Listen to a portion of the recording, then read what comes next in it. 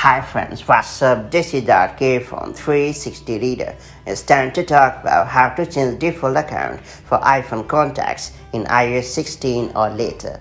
While iCloud is set as the default account for iPhone contacts, you can choose to switch to Gmail as per your needs. Hence, if you use Gmail and want to make it as your default account for contacts, you have the option to get it done. That said, let me show you how to switch default account for iPhone contacts in iOS 16 or later the right way. Before getting started, make sure you have subscribed our YouTube channel and hit the bell icon so that you won't miss any update from 360 Reader. First and foremost, you have to open the Settings app on your iPhone running iOS 16 or later.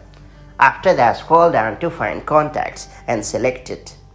It's worth pointing out that you must add Gmail or any other account that you want to switch to beforehand. If you haven't added it as yet, tap on Accounts, then tap on Add Account and then do the needful.